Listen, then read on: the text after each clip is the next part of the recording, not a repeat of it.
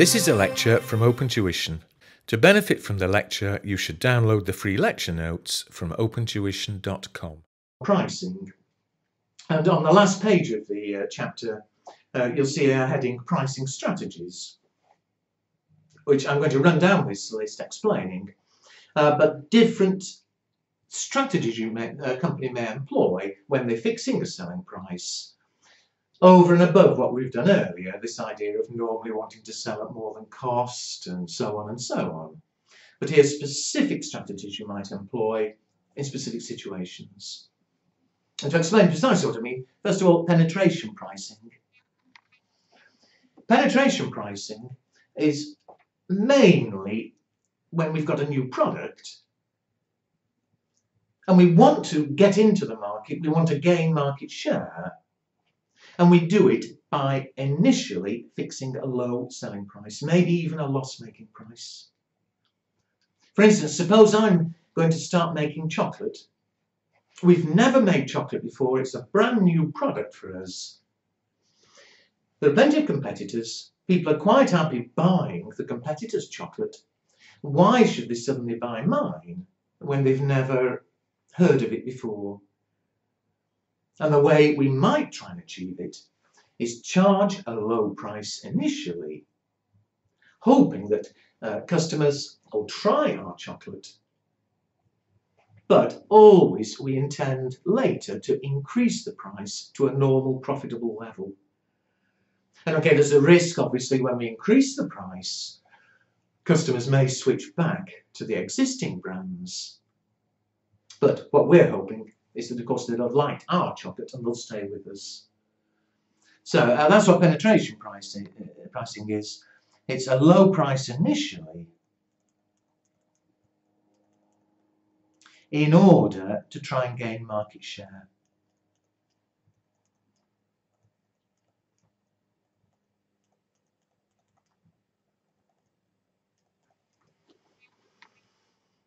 Uh, but without me writing it, appreciate it's to try and gain market share, but the intention always is to increase the, right, uh, the price later to a, what you might call a realistic level. The next one, market ski skimming. Initially, this might sound a bit odd, but it's a high price initially.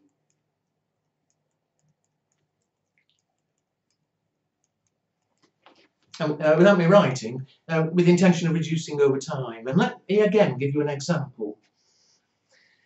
Flat screen TVs, I don't know how old you are, but um, I can certainly remember when flat, flat screen TVs first went on the market, they were incredibly expensive. I remember seeing some at 10 or 20,000, the very first that were there. And of course, very few people could afford them, but there are always some people, uh, rich people who like to be the first to have some new technology there are always some people who will pay a high price, but obviously a limited number. And so what's happened since? Started off at a very high price, they don't sell that many, but they make a huge profit on them. But when they run out of rich people, they drop the price a bit, and people, perhaps still rich but a bit less rich, they can afford to buy one. And they drop it more until gradually the price now has come down so hugely that now um, anybody who wants one more or less can afford one. And they could have charged a very low price from the very beginning. They'd have had huge sales. But the profit on each would have been fairly small. So what they've done is over a, a, a, longer period, they've still ended up selling to everybody. But rich people have paid a lot. Poorer people have paid less. We've all paid what we could afford. So they may, it's taken them longer to sell huge numbers. It does mean that overall they've been making a greater profit. Now that only works with certain products. It's primarily high-tech products where you know some brand new invention comes on the market. The same happened with DVD players when they first came out. Very expensive at the beginning, but now, relatively speaking, very cheap indeed. So I say it's only certain products, tends to be high tech.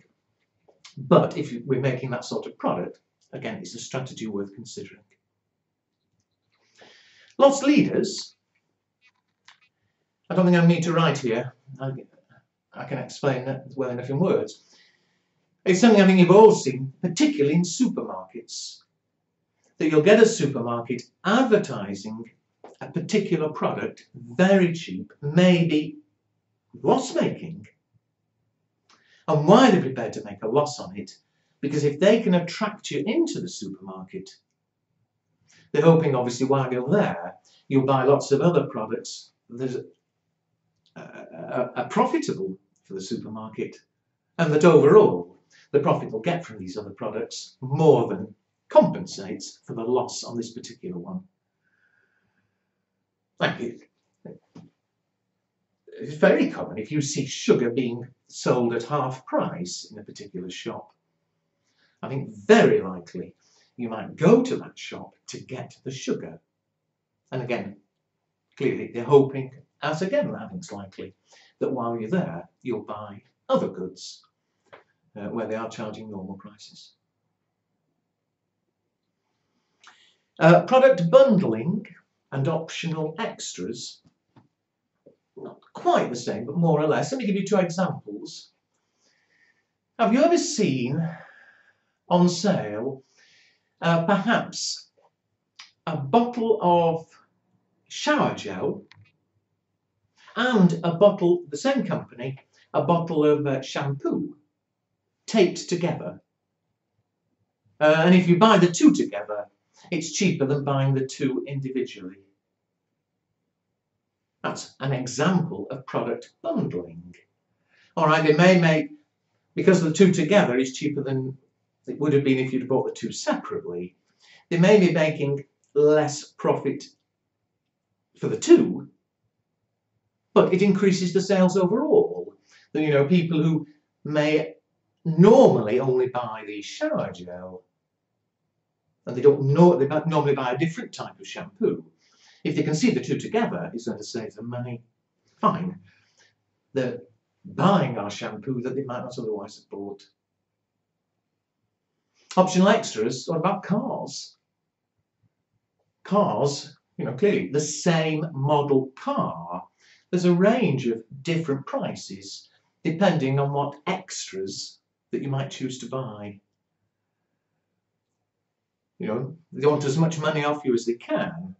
But if if all the cars came with ooh, a leather, our particular model, if all, all, the only model we saw sold always came with leather seats and leather steering wheel and everything, it'd be more expensive and a lot of people wouldn't be able to afford to buy it. So we sell a basic car with plastic seats. If you want, you can pay extra and have it with leather seats. An optional extra, but uh, same sort of idea as something I mentioned earlier, that poorer people are buy the car with plastic seats. Richer people might pay the extra and get leather seats, even though the car itself is primarily what we want to sell uh, and where we're making money. Uh, finally, of these main ones, product differentiation. I mentioned cars a minute ago, and obviously there are lots of manufacturers of cars. Now, for a certain level of car, you know, obviously there are small cars, big cars, different, what you might call levels. But for any particular level of car, there are lots of different manufacturers of what are very similar cars in terms of um, the power and the looks and everything else. So how do we persuade people to buy our car and not a competitor's? We try and convince them that our car is better. And if we can convince them that our car is better than the competitors, then perhaps we can charge a bit, a bit more for it. So clearly we've got to do something that makes our car better uh, in order to justify the higher price. Uh, finally, other strategies, perhaps marginally less important, but even so. The first one, price discrimination. This is a nice one. It is a fact, I'm going to mention coffee again. It is a fact that a jar of coffee in India is cheaper than the same jar in Europe. Same manufacturer, Nescafe or whatever, you can buy the same coffee a lot cheaper in India than you can in Europe. And why? I mean, some products, obviously, it may be cheaper to manufacture uh, in India and they can afford to charge less. But even if it's identical, even if it's manufactured in the same factory and then sent to either India or Europe, why do they charge more in Europe than they do in India? And the answer is quite simple. People can afford more in Europe. If people can afford more, charge them more. I'm making up figures, obviously. Suppose the cost to manufacture a jar of coffee is 50 cents. Okay, anything more than 50 cents, they'll be profitable. Maybe people in Europe can afford to pay $2. So the selling price in Europe, $2. Nice big profit. No point in trying to sell it for $2 in India, they can't afford it. And so what do we do? We say, all right, in India, we'll just charge a dollar. Anything more than 50 cents is making us more profit. But we charge as much as we people can afford in the place we're selling it. Now that's geographical discrimination, and that's getting harder and harder. All right, coffee. People in Europe aren't going to fly to India just to buy coffee because it might be cheaper. Uh, but more and more, with the internet in particular, you can, not everything obviously, more and more you can buy things from other countries. Uh, and this geographical differentiation or discrimination uh, is getting harder to achieve. But it's all over the place. Uh, computers. The big computer manufacturers, Apple and all of them, they offer an educational discount. If you're a student, you can get it cheaper than if you're not a student. Whether that this applies to senior students or not, I don't know. But certainly a student in a, a, a, an established school or university. And why? Why? It's the same product. It costs the same to make. Why should I have to pay one price and a student can get the same thing for $100, $200 less. Well, all right, it's good publicity for them. Oh, we're letting students have our computer cheap. But the two reasons they're doing it, one is obviously, uh, well, Apple's a good example. If students start using an Apple computer, hopefully they'll carry on, Apple hopes they'll carry on using the same computer when they're no longer students.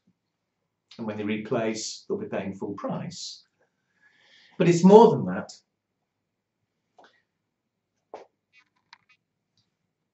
Non-students may be able to afford to pay, let's say, $2,000 for a computer. So, fine, they'll charge $2,000. Students can't afford to pay $2,000. But a bit like the coffee. If it only costs them, oh, $1,000 to make it, if we'll pay 2000 charge 2000 We'll still pay 2000 but if a student, or a student can only afford 1500 let them buy for 1500 We make more sales. Overall, we make more profit. it's almost an artificial rule that we've created where different segments of the market are charged different prices according to how much we think they can afford to pay. Uh, next one, premium pricing.